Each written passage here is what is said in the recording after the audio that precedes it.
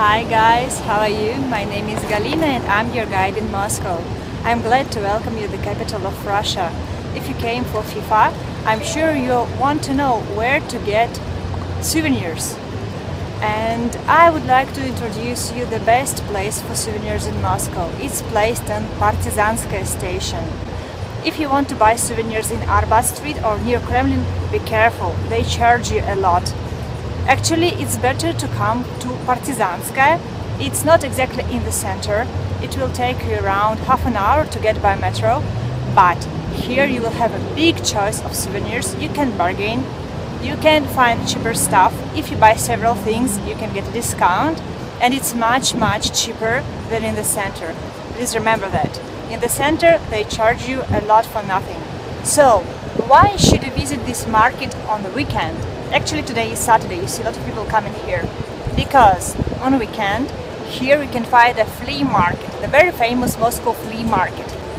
If you are interested in Soviet stuff, old Russian stuff, old Russian newspapers, photographs, sculptures of Lenin or Stalin, or maybe stamps, or maybe pins, or maybe vinyl discs, whatever. You can find here everything, everything. But it works only on weekend. So if you want to have a look at it, better come on weekend and better in the morning because in the afternoon around 4 5 they already leave the market, especially if the weather is bad. One more hint. On Wednesday, here is a wholesale day.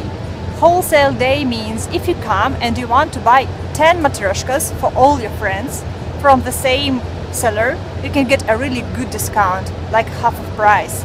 It's on Wednesday and only in the morning. You should come here around 8 or 9 in the morning on Wednesday and you can get a really good deal. But the souvenir market is opened every day, every day. Just the most crowded days are Wednesday and weekend.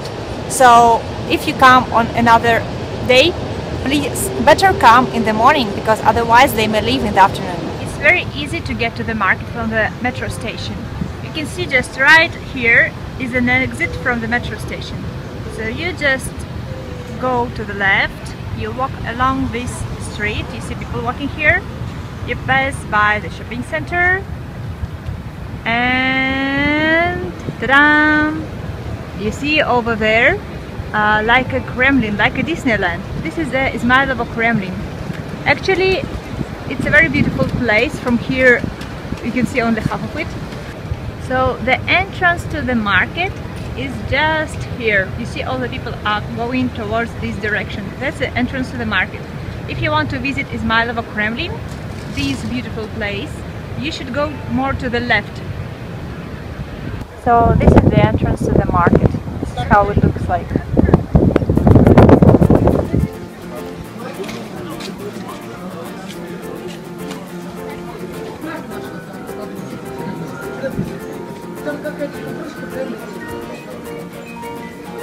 So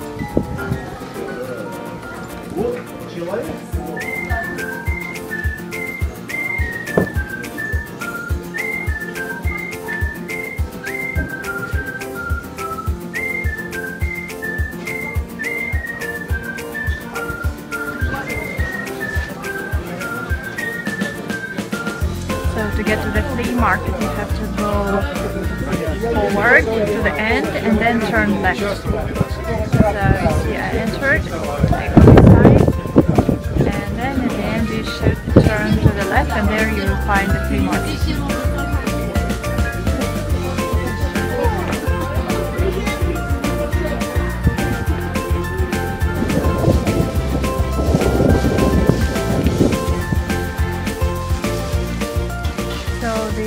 market and to the left from it there is an of Kremlin which is also worth to visit.